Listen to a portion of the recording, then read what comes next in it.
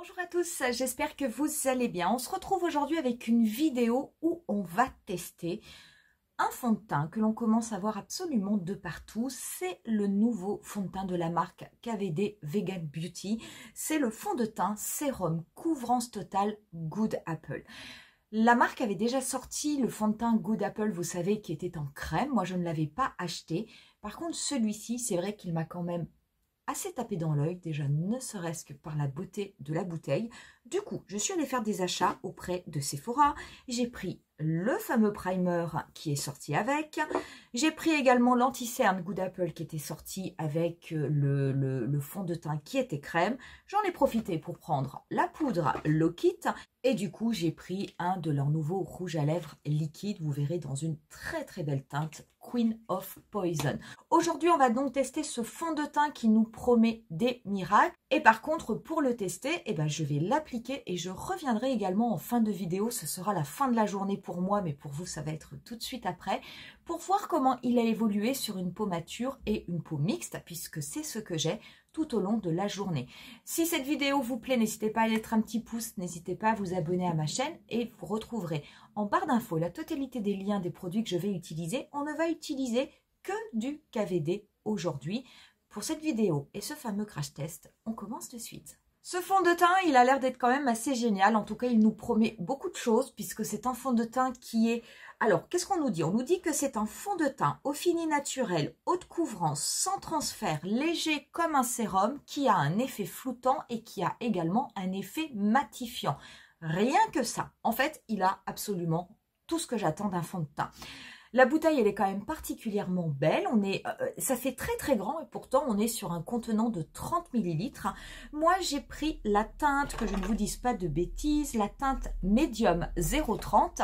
Je l'ai essayé en boutique, je n'étais pas maquillée, donc a priori, je ne me suis pas trompée. Euh, au niveau de ce fond de teint, c'est vrai que c'est quand même très étonnant cette marque KVD. Donc au début, c'était la marque Kat Von D. Euh, qu'avait fait du coup la célèbre tatoueuse. Les premiers produits de la marque étaient absolument géniaux et puis après il y a eu des produits qui sont sortis qui étaient de qualité moyenne, pas forcément très intéressants. La marque du coup elle a vendu ses parts, maintenant c'est devenu KVD Vegan Beauty. Ils ont sorti des produits superbe. Et puis pareil, ces derniers temps, je trouvais qu'il n'y avait pas grand-chose de très intéressant.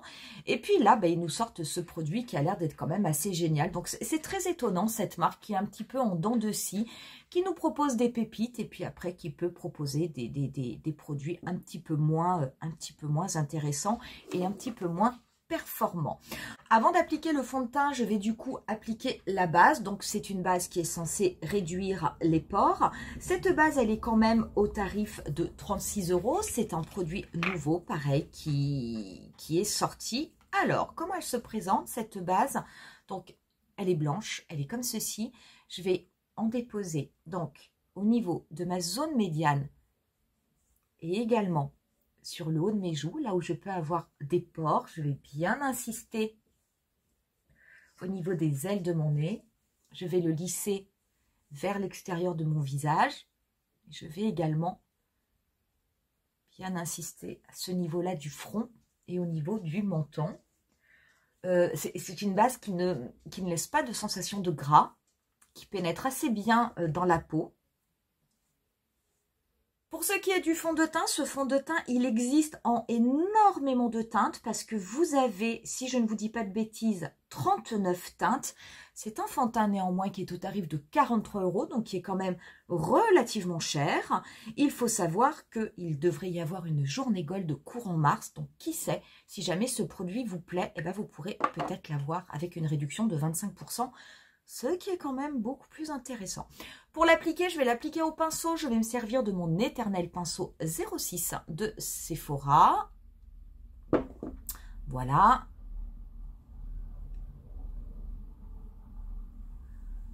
je vais en mettre un petit peu de partout et je vais le travailler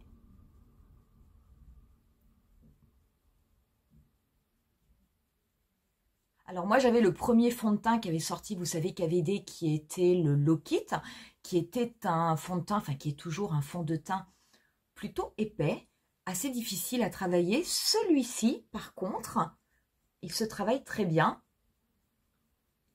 C'est vrai qu'il est léger, il s'étale bien. Je vais en remettre juste un petit peu ici, puisque j'ai un petit peu des taches roses. La couvrance est belle. Hein. Moi, j'ai des petites taches rosées au niveau des joues. Et là, les taches, euh, là, les taches, on ne les voit plus. Hein. Donc, la couvrance est quand même très, très bonne. Alors, j'ai légèrement zoomé pour que vous puissiez voir. Au niveau du rendu, très honnêtement, le rendu est quand même très, très joli. Donc, c'est vrai que ça, ça laisse un fini naturel. Euh, il est matifiant, mais pas trop. Donc, ce, qui est très bien, parce que moi, j'ai une peau mixte, donc c'est quand même quelque chose que, j'adore dans un fond de teint, c'est le côté matifiant. Mais on, garde de la lumière. Le teint n'est pas plombé. Par contre, c'est vrai que au niveau, donc, euh, il y a quand même une très très bonne couvrance, hein, parce qu'au niveau de mes petites taches rosées que j'ai sur les joues, c'est quelque chose qui est parti. Au niveau de la couleur, ça va quand je regarde par rapport à mon cou. Au niveau de mes pores, je peux avoir ici, alors je n'ai pas encore mis d'anticerne, hein, mais au niveau de mes pores, par contre, c'est vrai qu'on ne les voit pas, même ceux que je peux avoir là. Donc, euh, est-ce que c'est la combinaison du primer ou du fond de teint, ou est-ce que c'est vraiment que le fond de teint? Mais en tout cas, c'est pas mal. À l'application, c'est joli, c'est net, c'est propre, rien à dire. Je vais passer à l'anti-cerne. Donc l'anti-cerne, pareil, goût d'Apple. Là, par contre, je ne suis pas certaine d'avoir pris la bonne teinte. Je ne l'ai pas essayé comme, comme une courge. Hein. Je veux dire, pourtant, je les avais tous devant moi, mais je ne les ai pas essayés. J'ai pris le Medium 126. Je... Peut-être pas. J'avais peur qu'il soit un petit peu trop foncé, pas sûr.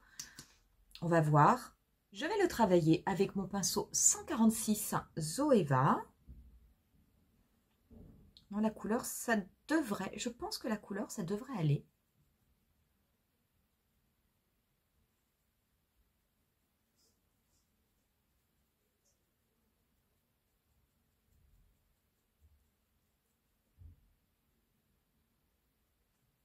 Voilà du coup le résultat après avoir appliqué l'anti-cerne. Alors je suis assez contente parce que je ne me suis pas du tout trompée de teinte. Donc c'est bien le médium 126 qu'il me fallait.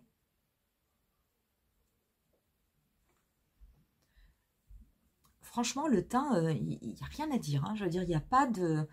En termes de, couvrance, il n'y a plus de défaut. Par contre, on a presque l'impression, en fait, que, l'on ne sait pas maquiller. C'est vraiment très, très étonnant. Il n'y a pas du tout cette sensation... Euh, de matière que l'on peut avoir quelquefois, de se dire qu'on a appliqué des produits, mais c'est vrai que le résultat est assez net. Je vais quand même appliquer la poudre Lockit. Je vais l'appliquer avec deux pinceaux parce que je vais en passer au niveau de mon dessous d'œil et je vais également en mettre sur tout mon visage. Donc la poudre Lockit euh, qui existe hein, déjà depuis, euh, depuis un petit moment. Hein. C'est une poudre fixatrice.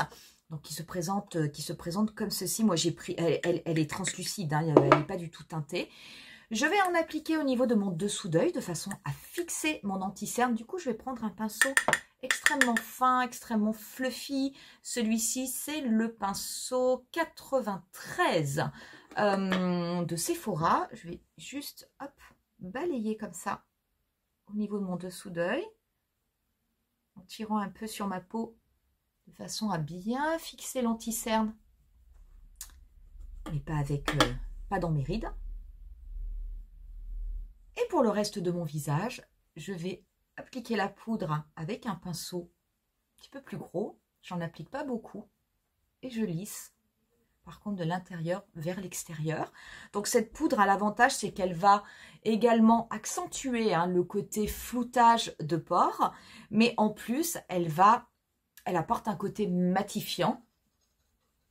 Et normalement, cela devrait aider le fond de teint à avoir une très bonne tenue pour toute la journée. Donc on verra euh, on verra ce soir. Je vous dirais quand même que vu le prix des produits, j'en attends beaucoup. Parce que 43 euros un fond de teint, ben, c'est pas donné pour une marque, on va dire pour une marque moyenne gamme. Si vous prenez avec le primer, le primer c'est 36 euros. L'anti-cerne 30 euros. Ça commence quand même à faire cher. Voilà. Je vais faire un petit maquillage rapide hors caméra. Je vais me servir du coup Euh, je vais me servir d'une palette de D. Je vais me servir de la Lolita Por Vida. Je pense que je vais utiliser euh, les teintes qui sont, euh, qui sont ici.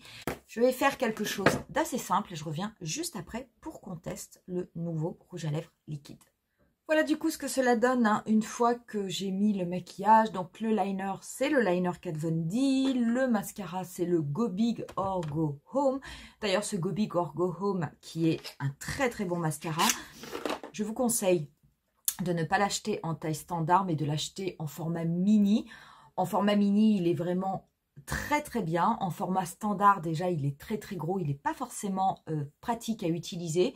Et je trouve que, que, dans ce, tube, peut-être que le tube est trop gros, je ne sais pas. J'aime beaucoup moins le mascara, il est beaucoup plus sec, beaucoup plus difficile à travailler et de toute façon, on n'arrive absolument pas à en venir à bout parce qu'il sèche trop vite. Donc, si jamais il vous intéresse parce qu'il fait de très beaux cils, il apporte vraiment beaucoup de volume, achetez-le en format mini, au moins vous ne serez pas déçus. On va passer du coup au, rouge à lèvres liquide. Donc j'ai pris la teinte 10 qui est Queen of Poison. Donc c'est une sorte de neutre un peu mauve. J'aime énormément les rouges à lèvres liquides de, de Kat Von. J'en ai quelques-uns hein, des anciennes séries. Vraiment, ils sèchent, ils ne bougent pas. Ils sont sans transfert. Donc euh, celui-là, j'espère qu'il est tout aussi bien. En tout cas, la couleur est très belle. Alors à l'intérieur... Je vais essayer de vous faire un zoom. Au niveau de la brosse, vous avez comme une sorte de petit trou au niveau du bout qui fait comme un petit réceptacle.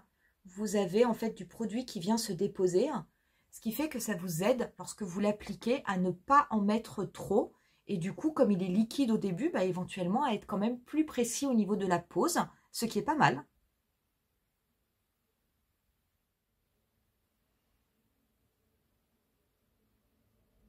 Voilà du coup pour le rouge à lèvres. Alors je viens de l'appliquer, je peux vous assurer qu'il est déjà quasiment sec. Je vais juste euh, prendre une teinte un petit peu irisée de la, palette Lolita Porvida. Et je vais déposer un petit peu de brillant au niveau du creux des lèvres. Vous savez que j'aime bien faire ça. Voilà pour le maquillage, on vient d'en terminer. Donc quoi vous dire au niveau de la pose, du rendu? Très honnêtement, J'aime beaucoup le rendu de ce fond de teint. J'aime beaucoup parce que je, suis maquillée, j'ai tout fait, les yeux, etc.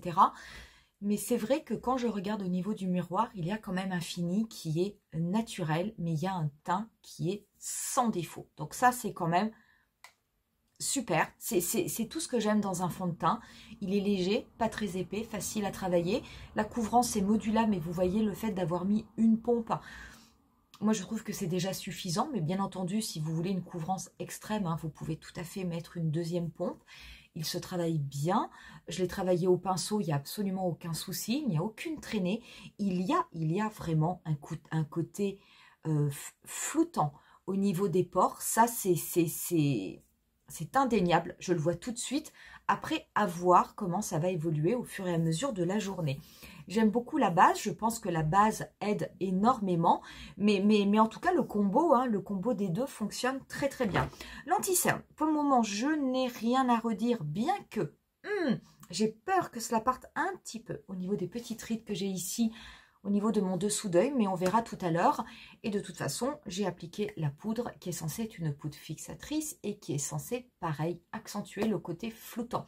Je vais aller faire ma journée, je reviendrai finir cette vidéo en fin de journée pour qu'on puisse faire un bilan et voir comment ce fond de teint a évolué sur ma peau mix et mature. Pour vous, c'est tout de suite.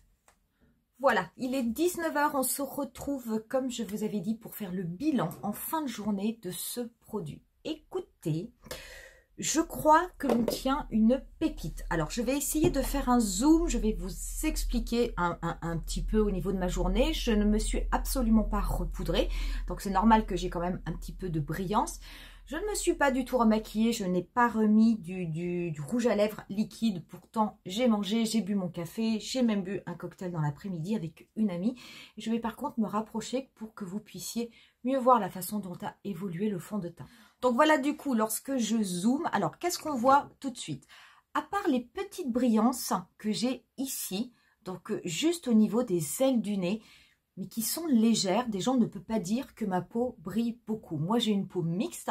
Euh, je peux vous assurer que si je ne la repoudre pas dans la journée ou si je ne viens pas avec un petit papier absorbant, justement enlever le, sébum qui apparaît, c'est un petit peu compliqué. Là, je ne l'ai pas fait et franchement, je trouve que ma peau est quand même plutôt belle parce que je me suis maquillée ce matin, il était quand même assez tôt, donc je l'ai vraiment gardé toute la journée.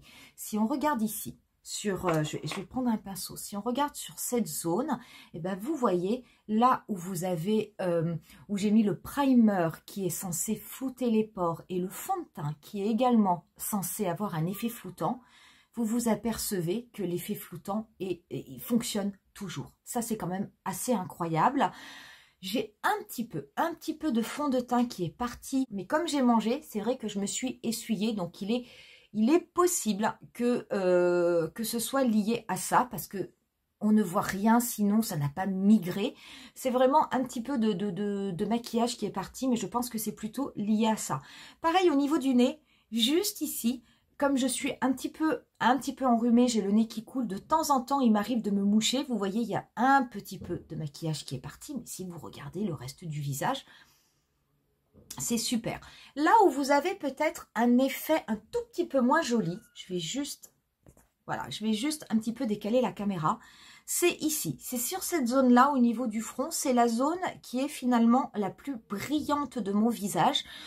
Le fond de teint n'a pas bougé, le fond de teint n'est pas parti, mais par contre, c'est là où j'ai quand même le moins de matité. Mais je suis assez bluffée et par la matité et par le produit qui est resté en place. Par contre, si on regarde sur le reste de mon visage, donc j'avais mon highlighter, mon blush, j'ai mis un petit peu de bronzer, rien, rien, rien n'a bougé, rien n'est parti dans les rides, même au niveau de mon anti-cerne.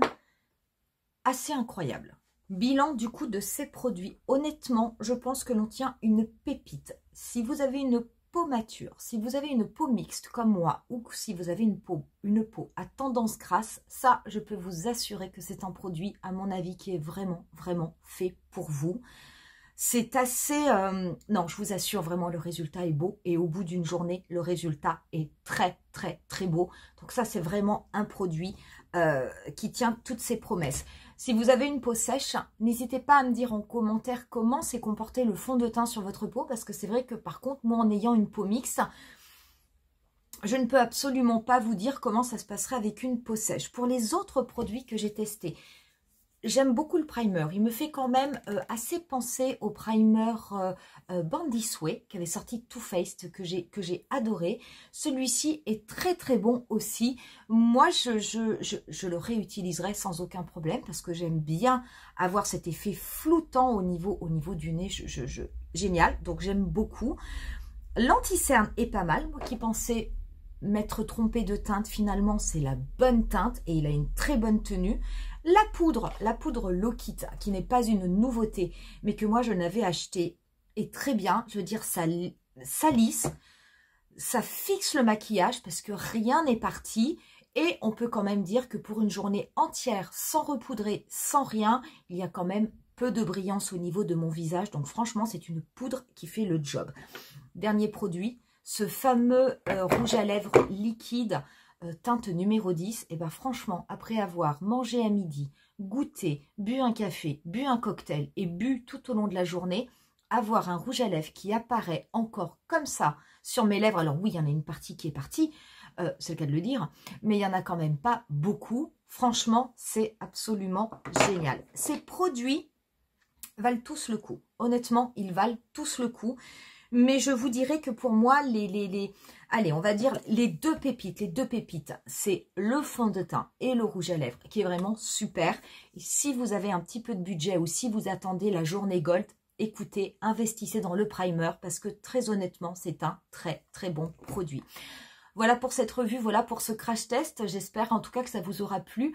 Qui sait, si jamais vous vous posiez des questions sur ce produit parce qu'il est quand même cher, je vous rappelle qu'il est au tarif de 43 euros hors réduction, donc ça n'est pas donné. Peut-être que cette vidéo vous aura permis du coup de vous faire un meilleur avis et peut-être de vous décider à l'acheter ou non.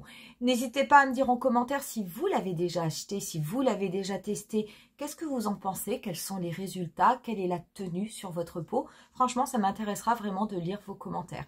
Moi, je vous laisse avec quelques photos du look final. Comme d'habitude, vous aurez une photo du look de ce maquillage et je vous dis rendez-vous à très bientôt pour une nouvelle vidéo. Bye